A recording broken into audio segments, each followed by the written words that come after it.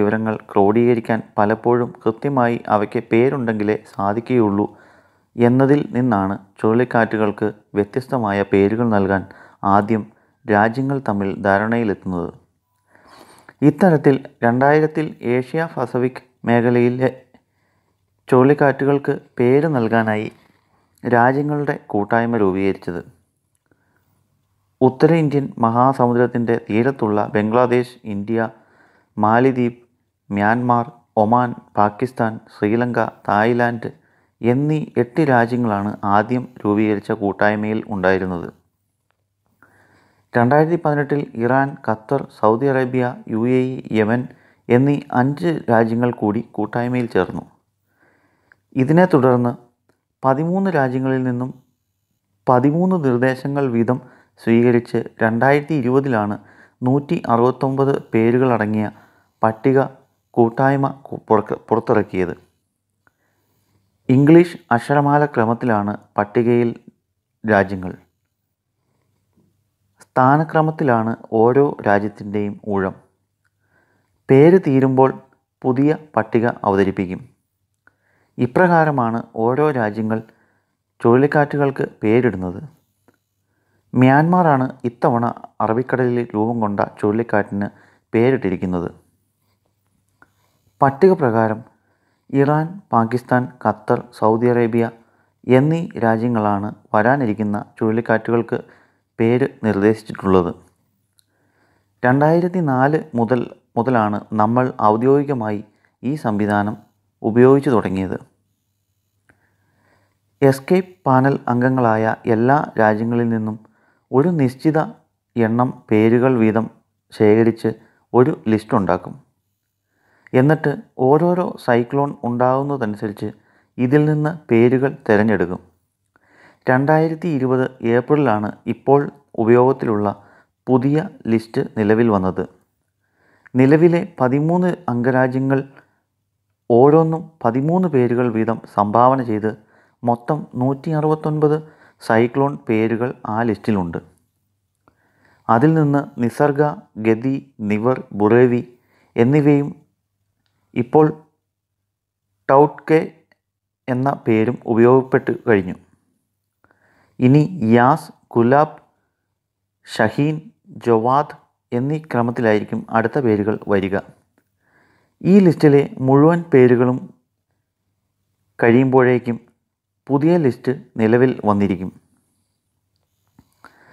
Cyclone കാറ്റുവേഗം ഭൂമിയുടെ കറക്കം കാരണമുള്ള കൊറിയോലിസ് പ്രവാഹം എന്നിങ്ങനെ പല ഘടകങ്ങൾ നിർണായക പങ്ക് വഹിക്കുന്നുണ്ട്. സൈക്ലോജെനിസിസ് ഒന്നോ രണ്ടോ പാരഗ്രാഫിൽ പൂർണമായി വിവരിക്കാവുന്നത്ര ലളിതമായ ഒരു പ്രക്രിയ അല്ലാത്തതിനാൽ തൽക്കാലം നമ്മൾ അതിലേക്ക് കടക്കുന്നില്ല. ചുറ്റുപാടുകളെ അപേക്ഷിച്ച് മർദ്ദം താഴ്ന്നു നിൽക്കുന്ന ഒരു പ്രദേശം ഉണ്ടാകുന്നിടത്തു നിന്നാണ് ഇത് തുടങ്ങുന്നത്. ഇതിനെയാണ് ന്യൂനമർദ്ദ കേന്ദ്രം എന്ന് പൊതുവെ വിളിക്കുന്നത്. ഭൂമിയുടെ കറക്കം കാരണം കാറ്റ് ഈ മർദ്ദകേന്ദ്രത്തിലേക്ക് നേരെ ഒഴുകുന്നതിന് പകരം ഈ മർദ്ദകേന്ദ്രത്തെ ചുറ്റിക്കറങ്ങാനായിരിക്കും ശ്രമിക്കുക. സാഹചര്യങ്ങൾ അനുകൂല അനുകൂലമാണെങ്കിൽ ഈ മർദ്ദകേന്ദ്രത്തിലെ മർദ്ദം പിന്നെയും പിന്നെയും കുറയുന്ന ഒരു രീതി സംജാതമാകാം. അപ്പോൾ അതൊരു തീവ്ര ന്യൂനമർദ്ദം ആയും പിന്നീട് അതിതീവ്ര ന്യൂനമർദ്ദമായും എന്നിങ്ങനെ ഘട്ടം ഘട്ടമായി ഒരു സൈക്ലോണായി വളരും. അപ്പോഴേക്കും നടുക്കുള്ള മർദ്ദകേന്ദ്രത്തെ ചുറ്റിക്കറങ്ങുന്ന കാറ്റിന് അറുപത്തിരണ്ട് കിലോമീറ്റർ പെർ അവറിനേക്കാൾ വേഗം ഉണ്ടായിരിക്കും.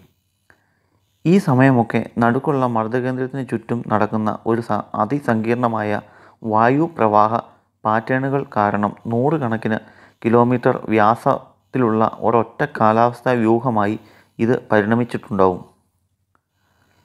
കണ്ണ് എന്ന് വിളിക്കുന്നത്. മുപ്പതോ നാൽപ്പതോ കിലോമീറ്റർ വ്യാസമുള്ള ഈ പ്രദേശമാണ് സൈക്ലോണിലെ ഏറ്റവും ശാന്തമായ ഭാഗം. അതേസമയം ഈ കണ്ണിന്റെ വക്കിലൂടെയായിരിക്കും സൈക്ലോണിനുള്ളിൽ ഏറ്റവും വേഗത്തിൽ കാറ്റടിക്കുന്നത്. അവിടേക്ക് അവിടുന്ന് ദൂരേക്ക് പോകുന്തോറും ഈ വേഗം കുറഞ്ഞു വരും. സൈക്ലോണിലെ കാറ്റുവേഗം കൂടുന്നതനുസരിച്ച് അതിന് പിന്നെയും വകഭേദങ്ങളുണ്ട്. എട്ട് കിലോമീറ്റർ മണിക്കൂറിൽ കൂടുതൽ വേഗത്തിൽ കാറ്റടിച്ചാൽ അതിനെ സെവിയർ സൈക്ലോൺ എന്നും നൂറ്റി പതിനെട്ട് കിലോമീറ്റർ മണിക്കൂറിൽ കൂടിയാൽ അതിനെ വെരി സെവിയർ സൈക്ലോൺ എന്നും വിളിക്കും. ഈ പറയുന്ന വേഗത സൈക്ലോണിന്റെ കണ്ണിന് ചുറ്റും വട്ടത്തിൽ വീശിയടിക്കുന്ന കാറ്റിന്റെ വേഗതയാണെന്നത് ശ്രദ്ധിക്കണം. ഇതിന്റെ പാതയിൽ പെട്ടുപോകുന്ന ഒരാൾക്ക് ഇത് വട്ടത്തിലാണ് വീശുന്നതെന്നൊന്നും തിരിച്ചറിയാനാകില്ല. കാരണം ആ വട്ടത്തിന് നൂറ് കിലോമീറ്റർ വ്യാസമുണ്ടാകും. ഇവിടെ മറ്റൊരു വേഗത കൂടി ഉൾപ്പെടുന്നത് സൈക്ലോൺ മൊത്തത്തിൽ നീങ്ങുന്ന വേഗമാണ്. കണ്ണിന്റെ സ്ഥാനചലനത്തിലൂടെയാണ് ഇത് പ്രകടമാവുക. ആ വേഗത പക്ഷേ മണിക്കൂറിൽ പത്തോ പതിനഞ്ചോ കിലോമീറ്റർ എന്ന കണക്കിൽ വളരെ ചെറുതായിരിക്കും.